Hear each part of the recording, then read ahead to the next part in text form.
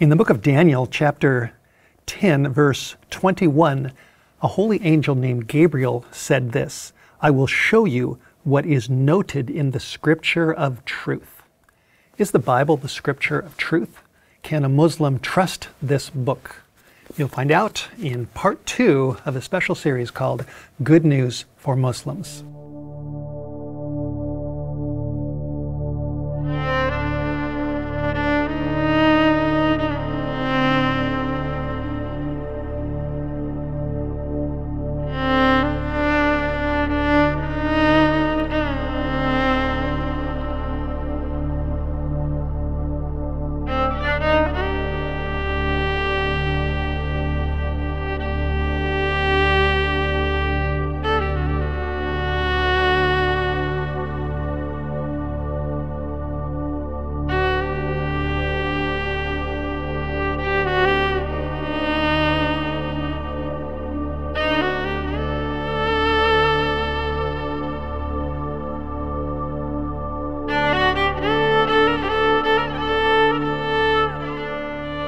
Welcome again to a 13 part television series called Good News for Muslims. This is part two, which is called Can a Muslim Trust the Bible? Uh, my guest is a man named Shahbaz who has a fascinating history. He grew up in Iran, he's got a, a lot to tell. He is an associate speaker for Amazing Discoveries. He is the author of a uh, very interesting book called Two Sacrifices, One Destiny. He is also uh, the host of a television broadcast called Voice of Hope that airs on the Hope Channel in different countries around the world. So Shahbaz, uh, welcome again. I'll shake your hand, and you know you Good are to be here. you are much appreciated, uh, and I'm I've just been fascinated by listening to you. Uh, I grew up in basically the Hollywood Hills, and you grew up in I don't know if they were the hills of Iran or not. The hills of Tehran. the hills of Tehran. So we have uh, very different backgrounds, but now we're both married, we both have kids, and we're both here, and we both uh, believe in God, and we've both found we found peace in our hearts that we didn't have as we were growing up. And so we're going to just you know continue to discuss uh, Christian, Islamic issues, and just kind of dive deep. And uh, you're the expert. Uh, I've done some reading. I've met Muslims, but I wasn't raised Muslim. But one thing I've learned, and you can kind of elaborate on this, is um, that Muslims believe, they do believe in the Quran. I've got my copy of the Quran here. They believe in the Quran. Uh, but it's, when it comes to the Bible, you know, they have certain views of this book. We've got this book and this book. So tell us uh, about the Muslim view of the Bible. Muslims, uh, for the most part, I can I can safely say that all Muslims believe that the Bible is a corrupt book. A corrupt book. Uh, It's been corrupted. Okay. Originally, it was not corrupt, but that the Apostle Paul um, basically uh, changed the Bible and uh, included in it uh, things regarding Jesus being the Son of God. Paul the Apostle is to be blamed as far as the Muslims are concerned. And interestingly, they believe that most Muslims believe that the first five books of the, the Old Testament, uh, the Pentateuch, the writings of Moses, have been preserved and they are not corrupt. And Yeah. that those that's the five books that we have or that I have in my Bible. These first correct. five books uh, Muslims would accept those as the word of God. Most Muslims would accept that as And the that word of doesn't matter whether they're a Sunni or Shia or Doesn't matter, no. Okay. No, they have not been corrupted as far as they're concerned. But the rest of the Bible has been corrupted. And, and, uh, and uh, interestingly, when I was uh, studying this for myself, early when I was learning about Christianity, I was, I was questioning the, why is it that the Bible is made of two sections, the Old Testament and the New Testament, the Torah and the Injil, the, the, the writings of Moses and the prophets and the kings, and then the writings of the disciples of Jesus. How can they be connected? And why isn't Quran the third part of it? If, you know, that was a big question in my mind. And why is that Quran stands apart from these two? And these two agree, but that one doesn't agree with them. That was one of the big questions I had. And, and Muslims see that as, as they basically if you question them, they see that as the authenticity of the Quran, that, that it cannot be part of these two because these two are corrupted. And um, but later on, I found out that the reason these two are connected is because uh, be, because they agree. It's like a brother and sister, and it's like uh, uh, you you have two faiths that 66 books that came together in a span of 1500 years, written by different authors, but they agree in every point. The Bible has no schism but with, with it, but for itself, with itself. There is no schism anywhere. The verses agree with each other. The, the thought flows. The prophecies agree. And the history is there. Everything there in the Bible became, as I studied it, as I looked at it, as I compared it, became more and more clear to me that there is, uh, there is authenticity to the, to the Bible. Mm-hmm. That, yeah, and, and that's a big, that's a huge issue. And I've heard that too. Muslims say, and it's kind of like in the Mormon religion, they say they believe in the Bible insofar as it is correctly translated. And I think that, I guess, the Muslim mind would believe somewhat in the Bible, but insofar as it's correctly translated, and if there's corruption in it, and if the corruption doesn't agree with the Quran, then they would put the Quran above the Bible. Yes. Is that right? Yeah, yes. For the, I would say I would agree with that, and and that, that they also believe, just plainly believe that there are verses in the Quran, in the Bible that should not be there, that was put there deliberately and it was corrupted. And, and the argument is, basically the argument, the natural argument that arises out of this is that why would God invest so much energy and time in this book mm-hmm. only to let it be corrupted? And was God not powerful enough to protect His own word that He wanted to give to the world? That God would say, I didn't take account for that, and now I got to do something else? So, so they do believe that He, he preserved the first five books. Yes. But then He didn't preserve the bulk of the rest of the Bible, but then He did preserve the Quran, right? Yeah. So, I mean, I'm just looking at this and thinking, well, if God is able to preserve the first five books, you know, why isn't He able, like you said, why isn't He able to preserve uh, the other books? Yes. And, and, and let's just let's discuss, you know, the evidence for the Bible uh, being preserved by God.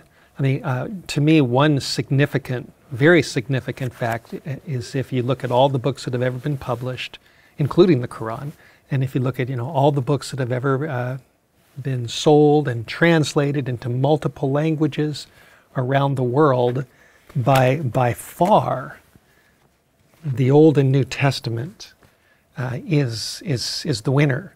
Uh, yes. Uh, and if you think about, you know, God and the ebb and flow of humanity, uh, and then you look at the, the book that surfaces in the history of the world as the world's all-time best-selling book by far, is this book.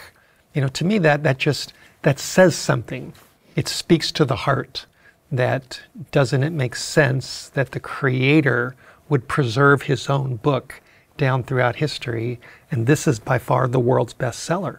I totally agree. So uh, that's to me that's very significant. Yeah. Now, now you'd mentioned, you know, the Bible was written over a period of approximately 1500 years by how many different authors? There are 66 books, okay. and there are at least, I can't remember the exact number of the authors. I think it's at least 40. 40, about 40, I think, of authors in the Bible. That, that and, through and, different time. And they're very different. I mean, you have uh, an administrator, Daniel, who's in the administration on, in the court of Babylon. You've got Amos, the shepherd. Yes. You've got fishermen like, uh, you know, Peter You've got a tax collector, Matthew. You've got uh, David, who was a shepherd and who then became a king. You've got Solomon, who is a king. And you've got all these different, uh, you know, writers from many walks of life. And yet, when you look at this uh, combination of all of these books, the later books refer to earlier books, quote earlier books. Earlier books point to things that are in the later books. and and they they fit. Yes. They fit together. And the complexity of this whole matter is so broad that it will be impossible to to even imagine that that when Moses wrote the first five books, and at the end when John wrote the last book, that these two could have collaborated in any way. To uh, it, it, there was no collaboration between them. It was the Holy Spirit that was leading all these men to write the book just as God has ordained it. And it was written exactly the way God wanted it to be. Of course, it was written in their own style. Each author of the books of the Bible, they were human. But God's Holy Spirit was guiding them, guiding their thoughts. So, so the inspiration in the Bible, there is no question in my mind that this book is inspired. Now, now what about the Dead Sea Scrolls? What, let's bring that into the mix. Uh, what does that say? What is the significance of the discovery of the Dead Sea Scrolls concerning the validity of this book? Well, you know, the that's, Dead Sea Scrolls, I mean, historically, they're a pretty new finding. I mean, back in the 1940s. 1947. 1947, a shepherd boy, a Bedouin boy, who was uh, not even uh, Jewish. He is throwing rocks. He throws a rock into a cave and he hears something shatter. clink, clink. Yeah. And he throws another rock and then eventually he goes up there and he finds all these, uh, uh, uh all these uh, basically bottles made out of clay. And inside them there were squirrels. And then, anyway, scientists and uh, archaeologists got a hold of them. And when they compared them, those, those writings were are around uh, 100 years, 200 years before Christ, a couple of hundred years before Christ. From the Dead Sea from community. The, yes, that's correct, from Dead Sea community. And when they the compare it to our, community. to our modern translations mm. of the Bible, uh, there's almost no difference. Yeah, and that's the significance of the Dead Sea Scrolls. As I, one of the books that was in one of those jars was the entire book of Isaiah. Mm-hmm. And when that book, going back, you know, a couple hundred years before Jesus, uh, and you compare that with the book of Isaiah that we have today in our modern Bibles, uh, it's it's virtually identical. Yes. And the significance of that is that it it uh, testifies that the book of Isaiah has come down the line to today and it has not lost a lot in the translation. Now, obviously, there are some, you know, variants in different translations, which is another topic. But by and large, you know, Isaiah back then is Isaiah today. That's right. The first five books of Moses are the first five books of Moses today. That's right. Psalms back then is Psalms today, and and so on. Yeah, that, and, the the the continuity of the Bible and its inspiration, and that, that the Bible is preserved, in my mind, there is no question at all. And the Bible, the Bible deals in, the records of Scripture. We're not dealing with, uh, with you know, fantasy and mythology. We're dealing with real people, real places, real history, real names. You know, elaborate on that a little bit. Absolutely. Yeah, I, I mean, the, the people that are mentioned in the Bible, archaeology has found evidence that these people actually existed kings and noblemen and different uh, people that happened, like Hezekiah, the king of Israel. David, they have found uh, one of the seals of David. They have um, uh, found, most recently, found a seal that belongs to the prophet Isaiah. There is still some debate. They're trying to uh, finalize whether it's actually is the prophet Isaiah's own seal, but um, in the near future we'll find out. But but there are places such as Babylon mentioned in the Bible that the ruins are in Iraq, not far from Baghdad, and um, and uh, so all of these these places and people and history that the Bible mentions, archaeology every year they're finding evidence that backs up all of these hmm. stories and these individuals in the Bible. And, and it just, it, it, it's something fascinating and amazing because it just proves everything that the Bible has said. Here in Isaiah chapter 44, verse 28, it talks about Cyrus. And in chapter 45, it again mentions Cyrus that he would open the two, the two leaved gates the gates would not be shut. And it describes how Cyrus was going to conquer Babylon. That's right. And uh, this was actually written about 175 years or so before Cyrus was even born. That's right. And Cyrus uh, was predicted to conquer Babylon, to dry up the rivers in chapter 44. In verse 27, it says, God would say to the deep, Be dry, and I will dry up your rivers. And from what I understand, what the Bible describes is that, well, actually, what history describes is that Cyrus came from the north. He, he uh, diverted the water of the river Euphrates that went underneath the city of Babylon, and there were two gates on both sides. And as the water went under, uh, the guards that were supposed to be watching the city, they were drunk that night, and the water went down and they didn't notice. And the gates that were supposed to go down to the riverbed were not down that night. And then as the water went down, it opened up a gap, and Cyrus and his men, who had diverted the water upstream, then they crept underneath those gates, and that's how they surprised the city and conquered Babylon. And so that was described in the Bible. And when I was uh, a number of years ago, I had the privilege of, of going to uh, Europe and traveling, and I went to, uh, to England and I went to the British Museum.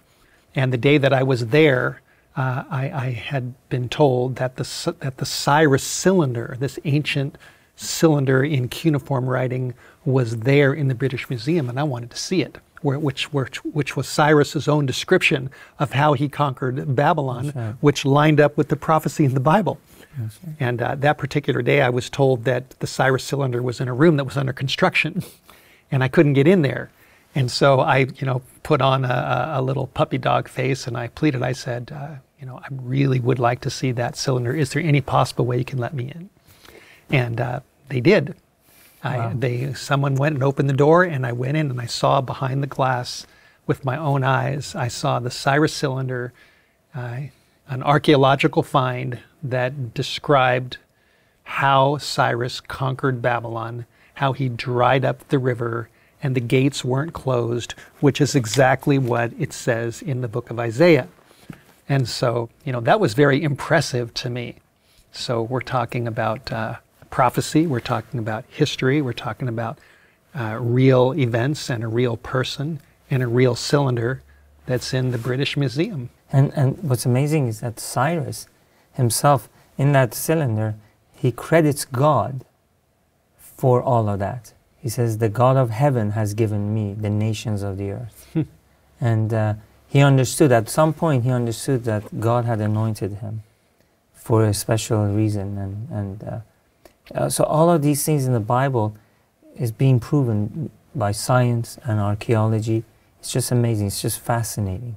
Yeah, to me, another uh, you know, another big evidence is the book of Revelation. The book of Revelation is the last book of the Bible, and this is what I, what I teach. What White Horse Media does. We have uh, numerous television programs. I travel around the country, and sometimes overseas, and I give seminars, especially on the book of Revelation. And many times in front of audiences, one of the points that I'll bring out is that the book of Revelation is a masterpiece of literature.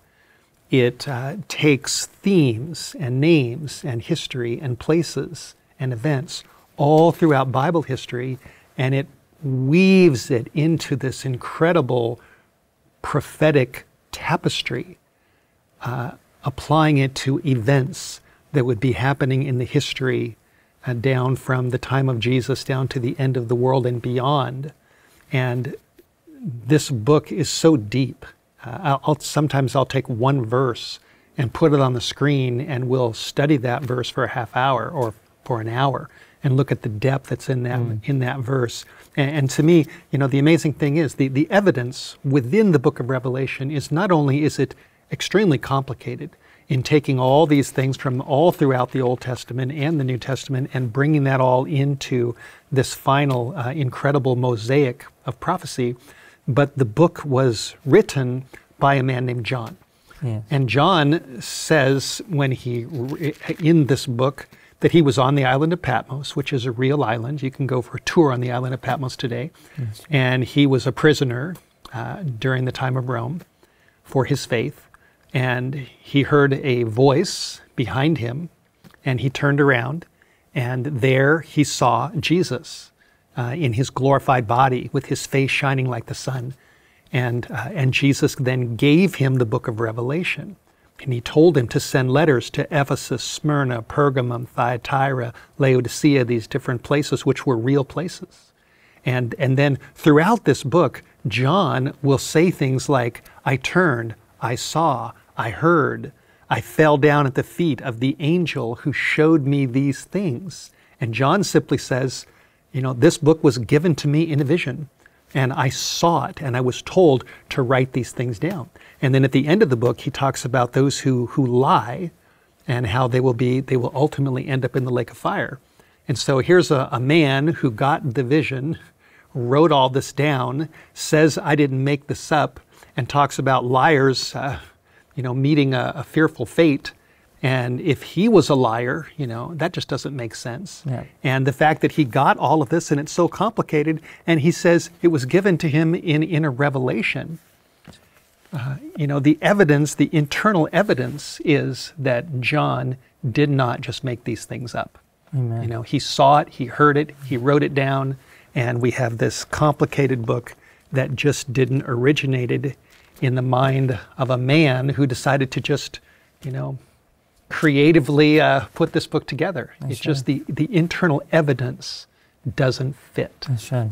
And, and all this, for God to invest so much, only to let it just slip away would be uh, a ridiculous idea. Now, now prophecies. Before we finish this program, uh, there's something about the Bible which are prophecies that were spoken in advance of the events before they happened. You know, talk a little bit about that. This is further evidence that this book is not just man's book and it hasn't been corrupted, that it really does say things that come true.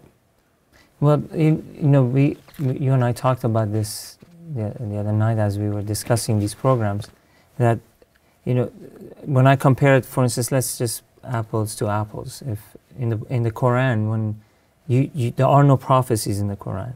There's no prophetic interpretations or there's no prophecy at all.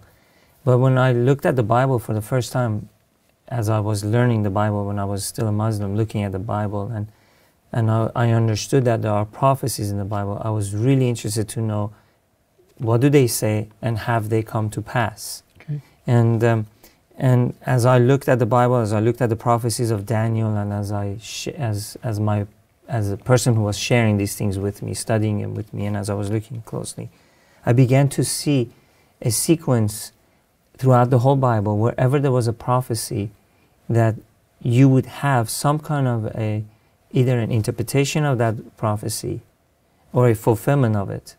And of course, there are still some prophecies that were still waiting for them to happen.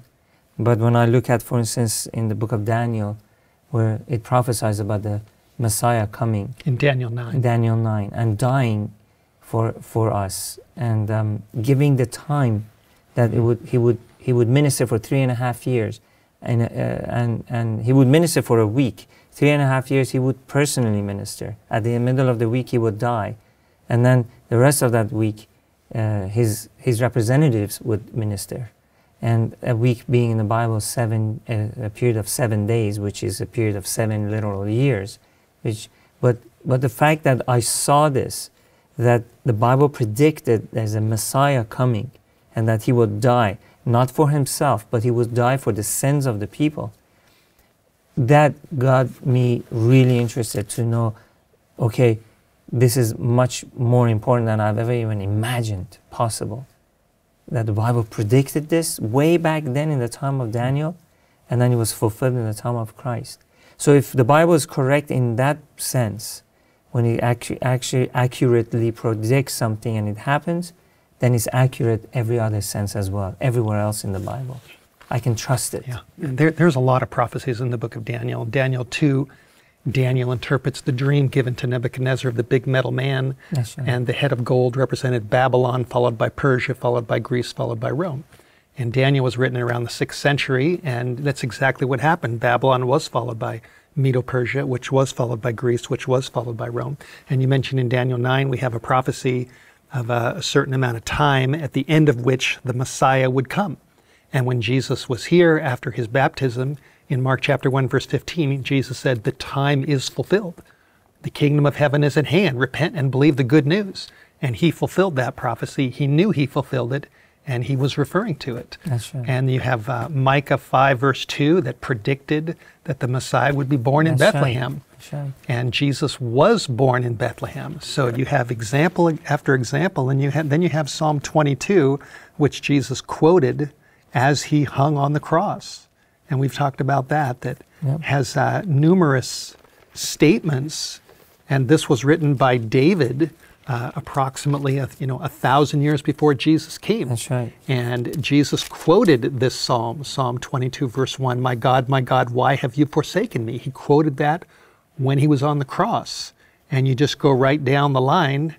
And doesn't this chapter also And talks about his crucifixion? In verse 16, it says, For dogs have compassed me, the assembly of the wicked have enclosed me, they pierced my hands and my feet.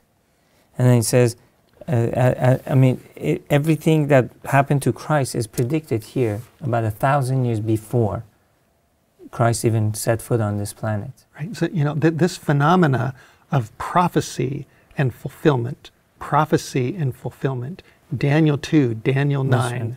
Psalm 22, Zechariah uh, talking about how he would come into Jerusalem on a donkey, and the Bible predicting he would be betrayed by a friend for 30 pieces of silver. And point by point by point, we have this uh, incredible tapestry of prophecy and fulfillment, which is not found in any other major uh, book of any of the world religions, including the Quran. That's right. And, and um, I would like to point out to Isaiah 53 is just filled with predictions about Christ and what, ha- what will happen to him from physically, in his mind, emotionally, and all that. In verse, verse 5 in Isaiah 53 says, But he, speaking of Christ, was wounded for our transgressions, he was bruised for our iniquities, chastisement of our peace was upon him, and with his stripes we are healed.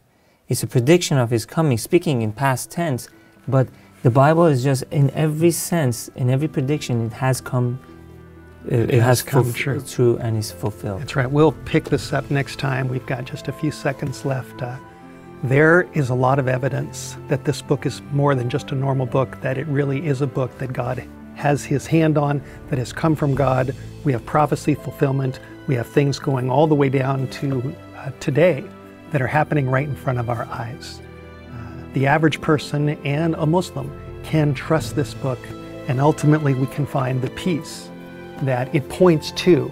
Uh, no matter who we are, what we've done, that peace is available to you and to me. We hope you enjoyed watching Good News for Muslims with Steve Wohlberg and Shahbaz. This entire 13 part series is now available on DVD. To order from within the U.S., call White Horse Media at 1 800 782 4253. To watch the series online or for more information, visit the website www.goodnewsformuslims.com.